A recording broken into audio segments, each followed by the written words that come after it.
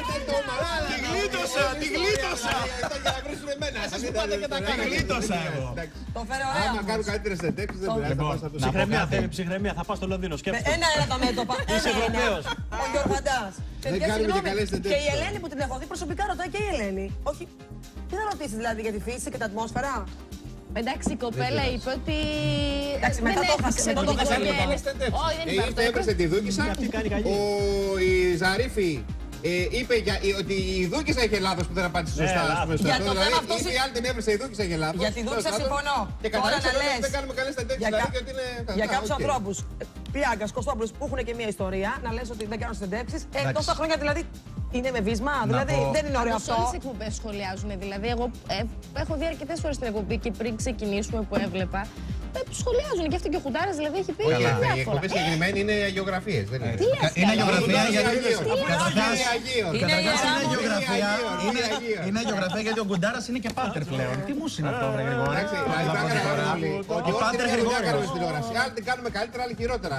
Αυτό όλοι κρινόμαστε τον κόσμο. Εντάξει, Αλλά το ε, θέμα είναι τώρα να βγαίνουμε και να βγάλουμε πέρα στα πάλια του Εσύ, άλλου. Για τον ε, Θέμη κάτι Εντάξει, είπανε, να πω εσύ εγώ τι κάτι λες. Για το τώρα. θέμη, εμέσω το είπα για το θέμη. Πες. Ναι, ε. να πω κάτι γιατί στην ουσία από μένα ξεκίνησε όλο αυτό Ναι. το πράγμα. Αλλήμον, Ήμουνα- δύο στάρ. Ήμουνα. Σταμάτα μωρέ, άστο να πει μια φορά κάτι. Άστο να Πες μιλήσει τα, μια ρε, φορά. Γιώργο, πες τα, Προσπάθησε ρε, να μην Γιώργο. μπορείς να μιλήσεις. Το κρατάω. Ναι, όταν το- τον κόβεις το πάει να πει κάτι και μιλάς. Ήμουν 100% αυθόρμητος γιατί δεν είχα δει το απόσπασμα στο θέμα την προηγούμενη μέρα και αισθάνθηκα πάρα πολύ άσχημα εκείνη τη στιγμή με την αντίδραση της Δούκησα. Επειδή κιόλας την ξέρω, κατάλαβα ότι η Δούκησα στεναχωρήθηκε πάρα πολύ. Δεν μ' άρεσε Όλοι το καθόλου. καταλάβαμε ότι Ναι, στεναχωρήθηκε. νομίζω ότι φάνηκε. Δεν μ' άρεσε καθόλου που πήγε αυτή η κοπέλα. Δεν είχε απέναντι της, ξέρω εγώ, τη Σάσα. Και δεν είναι η Σάσα απέναντί σου, ας πούμε, μία σαν τη Σάσα. Να Πες πάρεις της την ό,τι- απάντησή σου. Μπράβο, ναι. Λοιπόν, είχε τη Δούκησα και η Δούκησα εκείνη τη στιγμή αισθάνθηκε άσχημα. Δεν μ' άρεσε λοιπόν ο τρόπος. Α έλεγε, Ναι, μ' άρεσε πιο πολύ η Ζέτα. Δεν την έκρινα εγώ την κοπέλα που της άρεσε πιο πολύ η Ζέτα ή η Δούξα ή δεν ξέρω κι εγώ τι. Ήταν ξεκάθαρα αυθόρμητο έτσι όπως το είπα. 100%. Δεν μ' άρεσε, πήγε σε αυτή την εκπομπή καλεσμένη και στην ουσία άρχισε να λέει πράγματα σε έναν από τους κοδεσπότες. Γι' αυτό την κάλεσαν. Εγώ όμως. το βρήκα. Γιατί την κάλεσαν την Ελεάνα; Ρωτήθηκε όμως. Γιατί την κάλεσαν; Υπάρχει τρόπος να το Γιατί την πεις. κάλεσαν, Ναι. γιατί στην εκπομπή έλεγε αυτά.